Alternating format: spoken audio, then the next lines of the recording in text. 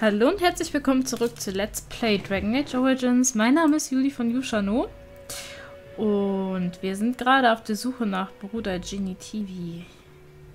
Wir haben auch schon äh, einen von als Al-Imens Rittern gefunden, die ja äh, auf der Suche nach der Urne der heiligen Asche waren. Und äh, der lag da bei dem Händler Weltkarte. Wie Weltkarte? Hä? Ach so, ich bin noch in diese, ich bin halt noch im Dorf Haven. So, in Haven haben wir dieses. Was? Ich habe da ein Leichen Wie ihr wünscht. Ich habe da eine Kiste übersehen? Bin ich krank? Ich weiß es nicht. Ich habe währenddessen ein bisschen, ähm, während ich den Ton exportiert habe gerade, das ist immer noch nach der letzten Aufnahme, äh, ein paar Bomben gebastelt. Kultist. Ah, da sind noch mehr Kultisten. Das sind alles Kultisten? Die, das ganze Dorf besteht aus Kultisten?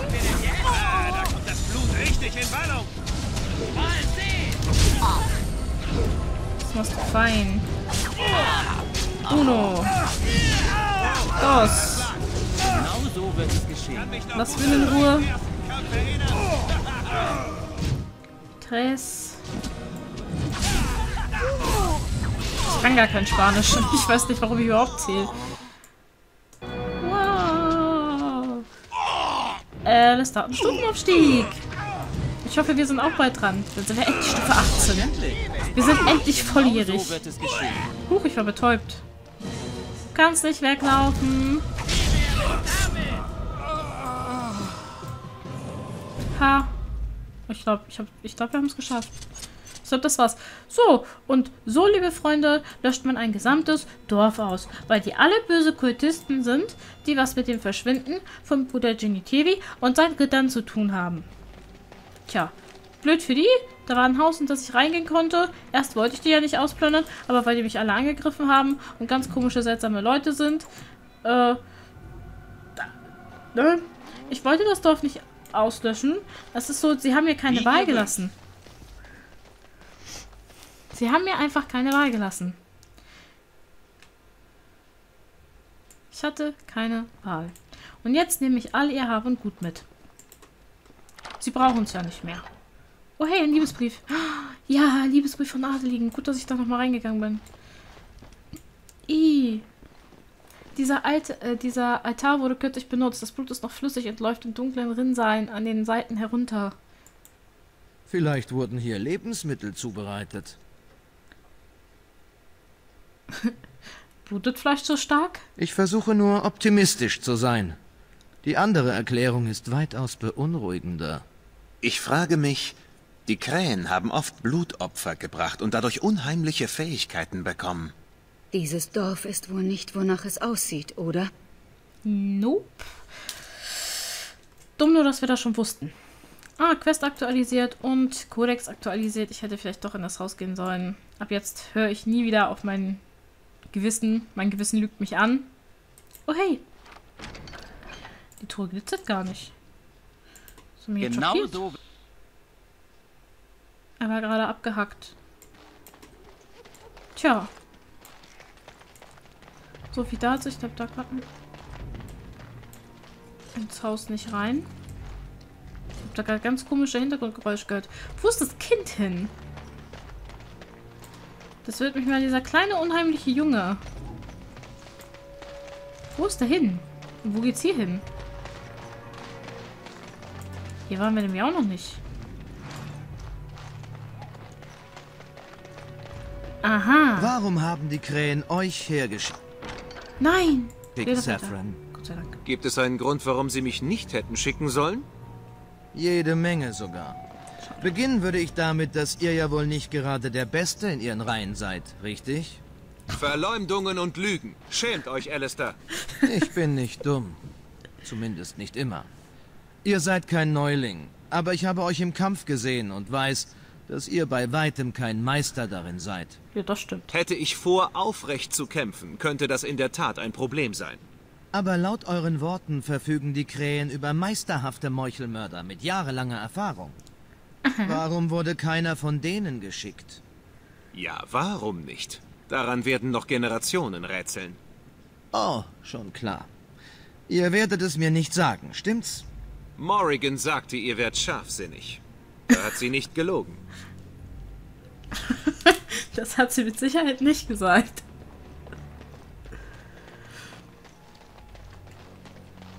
Da, da, da, da, da, da. Ich mag die Gespräche. Es ist einfach. Ah, Es ist einfach echt schön. Ich liebe dieses Spiel einfach abgrundtief. Okay. Ähm, wir haben hier Hin Hinweise gefunden. Wir müssen noch nach Redcliffe. Dorf Redcliffe, nicht Schloss Redcliffe. Wenn ich mich nicht täusche. Für eine andere Quest. Da ist der Laden. Da können wir jetzt momentan nicht mehr so viel tun. Da kommen wir zur Weltkarte. Und so wie ich das verstanden habe, kommen wir da auch zur Weltkarte, wenn wir weiter hochgehen. Okay, kommen wir nicht da. Es ist noch ein bisschen Kampf. Hallo, Genau so Kultisten, Freund. Ah, das ist gut. Die Kämpfe mit Fäusten, das ist aber nicht so klug. Ah, ich glaube, wir befinden uns auf dem richtigen Weg. Auf geht's. Uah. Kultisten Bogenschütze. Die haben aber große Äxte. Aua, das tut doch weh. Habt ihr mal nachgedacht? Ich könnte sowieso nicht gewinnen. Ich bin fucking grauer Wächter. Ich habe doch einen anderen fucking grauen Wächter dabei. Ich finde, meine, graue Wächter knockt man nicht einfach so aus. Das, es funktioniert so einfach nicht. Sonst wäre es ja so unglaublich einfach für die dunkle Brut, die Welt zu überrennen. Ihr Undankbaren. Was macht ihr, wenn ich nicht da sei? Ihr werdet so das? oder so gestorben. In der Kirche sind Leute. Womöglich das ganze Dorf. Du meinst das, was wir noch nicht ge- ausgelöscht haben von dem Dorf? Vielleicht ist der kleine Junge da. Der war gruselig, den fand ich süß. Fragt nicht warum, der war süß. Hallo, Freunde. Ich hätte vorher speichern sollen. Kann ich jetzt noch speichern? Sind wir über alle Maßen gesegnet. Wir wurden von der Heiligen und Geliebten selbst als Wächter auserwählt. Magier. Uns allein ist diese heilige Pflicht auferlegt. Frohlocket, meine Brüder, und öffnet eure Herzen für sie. Hebt eure Stimmen und verzweifelt nicht, denn sie wird ihre treuen Diener zu sich nehmen, wenn Hi. Ah, willkommen. Ich habe schon gehört, dass wir einen Gast im Dorf haben. Habt ihr euren Aufenthalt in Haven bisher genossen?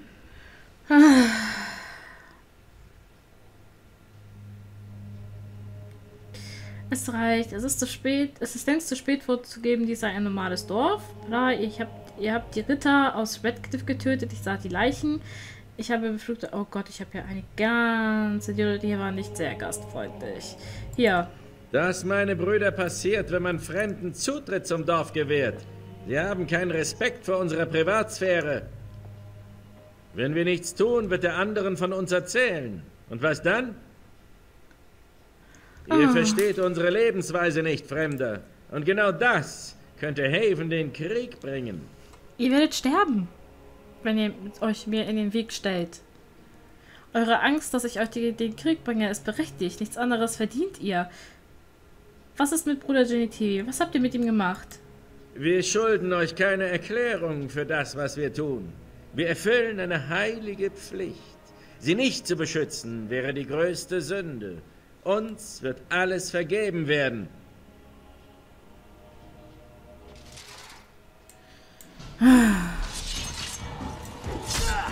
Komm her, kleiner Magier, komm her. Euch wird gar nichts vergeben werden. Wollen wir uns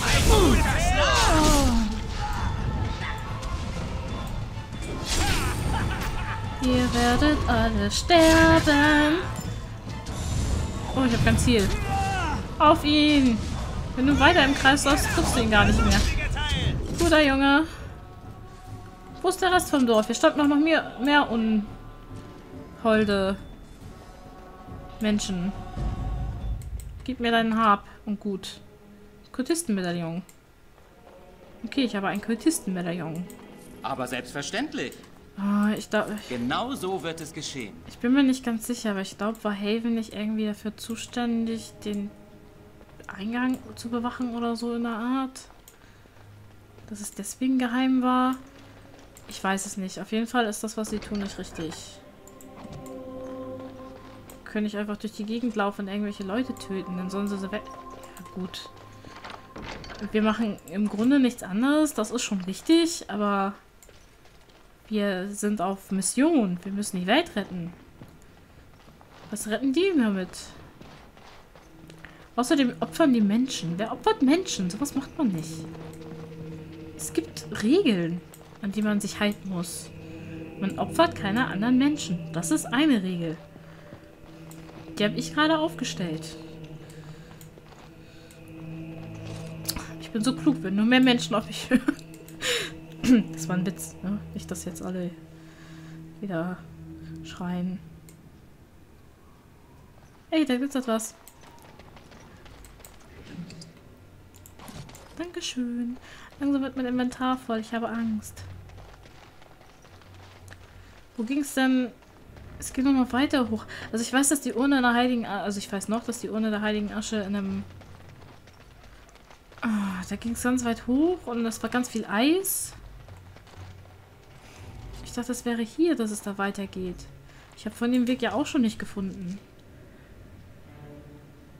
Da geht's nur raus, da geht's raus. Das ist das komplette Dorf. Hier ist Finish. Hm. Das jetzt aber blöd. Wo muss ich denn hin? Weil da ist ja, da ist ja, ist ja vorbei. Okay, scheinbar ist Haven nicht der, nicht der Ort, den wir brauchen. Was ist Taktik? Ach, das. Benutze ich irgendwie nie.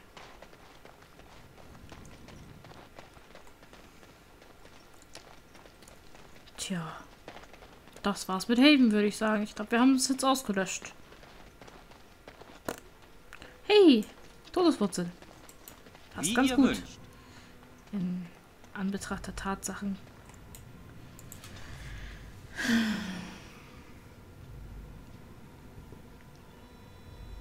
Warte mal. Lassen wir das mal ganz kurz. Ich würde gerne erstmal sehen, was die Quest dazu sagt. Da, die Urne der Heiligen, der Heiligen Asche. Finde heraus, was die Bewohner von Haven verbergen. Du hast in Haven seltsame Dinge bemerkt. Nicht alles ist so, wie es zu sein scheint. Und du vermutest, dass die Dorfbewohner etwas verbergen. Ah. Ja, aber das habe ich doch jetzt rausgefunden. Habe ich was übersehen? Ich wüsste nicht, dass ich was übersehen habe. Ich meine, sonst geht es ja nicht weiter. Das ist doch kacke. Und wo ist das Kind hin? Wo sind die anderen hin?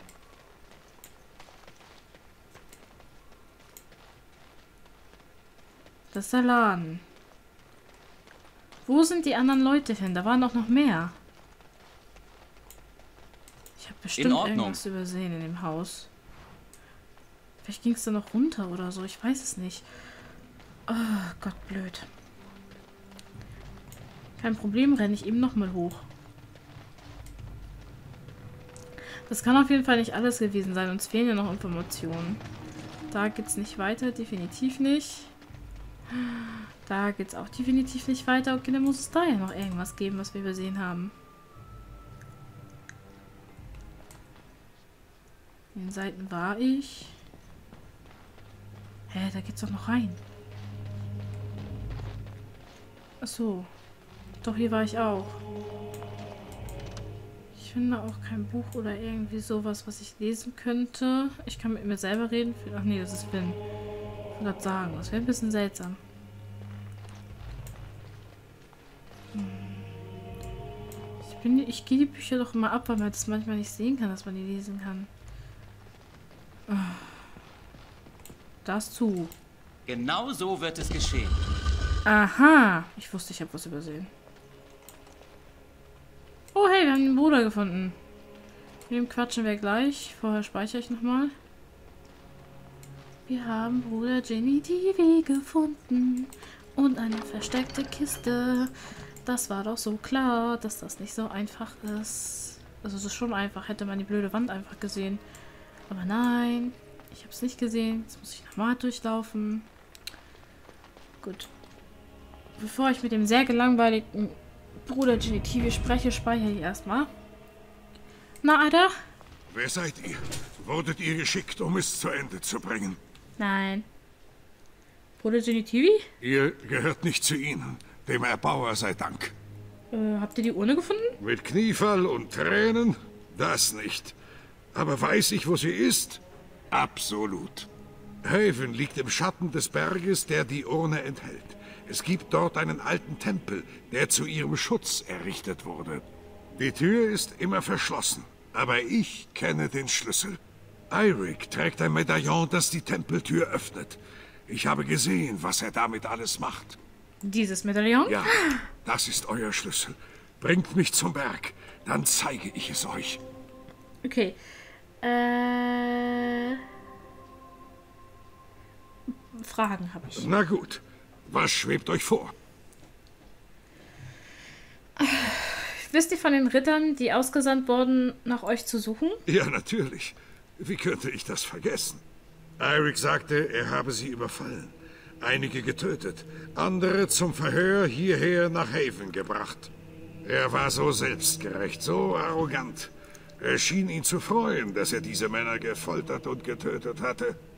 Oh nein. Also, Eirik wird niemanden mehr behelligen. Gut. Eirik und seine Anhänger waren in den Augen des Erbauers ein Makel. Natürlich nur, wenn er tatsächlich mal auf diese Welt herabblicken würde. Ach, lasst uns doch über etwas anderes reden. Ja? Haven ist schon seltsam, oder nicht? Nun, auch ich hatte eigentlich etwas anderes erwartet. Äh, was wisst ihr über Haven und seine Einwohner? Sie nennen sich selbst Jünger von Andraste und sind ihr völlig ergeben. Es grenzt bereits an Fanatismus. Sie müssen hier sein, um die Urne zu beschützen. Aber sie sprechen von Andraste, als wäre sie noch am Leben.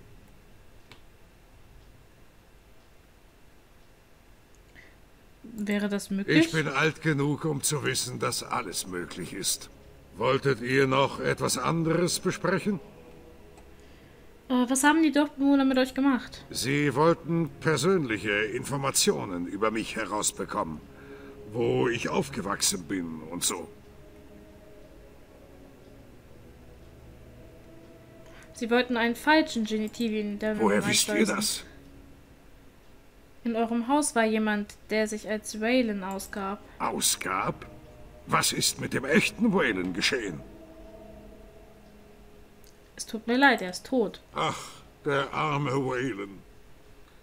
Ich hätte dich nie mit reinziehen sollen. Der Erbauer möge auf dich achten, mein Junge. Es tut mir leid, Bruder. Selbst als ich den Glauben an mich verloren hatte, glaubte er noch an mich. Ich werde die Erinnerung an ihn bewahren. Wolltet ihr sonst noch etwas sagen?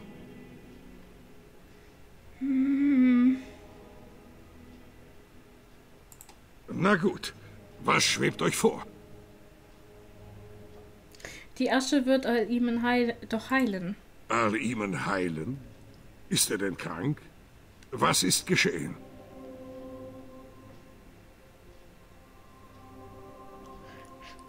Nein. Äh, das ist jetzt gleichgültig. Wich- Wichtig ist nur, dass wir ihn retten. Hoffentlich kann die Asche das. Ihre Wunderheilkräfte sind legendär. Es gibt Geschichten von geheilten Pilgern, Blinden, die wieder sehen und Lahmen, die wieder tanzen konnten. Vielleicht wirkt Andraste diese Wunder. Aber es könnte auch nur der Glaube sein. Wer an die Zauberkräfte der Asche glaubt, für den werden sie auch wirksam. Das könnte möglich sein. Aber darüber können wir reden, wenn wir die Asche haben und es dem Arm besser geht. So genug geredet, möchte ich meinen. Dann lauft los und beschafft das Medaillon. Äh, ihr habt von diesem Medaillon gesprochen? Ja, das ist euer Schlüssel. Bringt mich zum Berg, dann zeige ich es euch. Hm, seid ihr sicher, dass ihr dafür stark genug seid? Es ist nicht weit und Kann ich mich auf euch stützen? Für die Urne lohnt sich jeder Schmerz.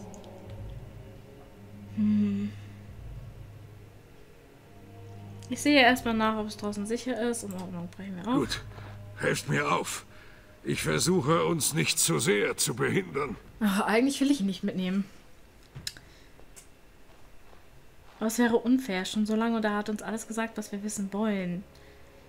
Einst fuhren die grauen Wächter auf den Rücken majestätischer Griffons die in die Schlacht. Nach der letzten Verderbnis nahm die Zeit der Griffons allerdings immer weiter ab, bis sie vor etwa 200 Jahren schließlich gänzlich ausstarben. Die Armen. Um,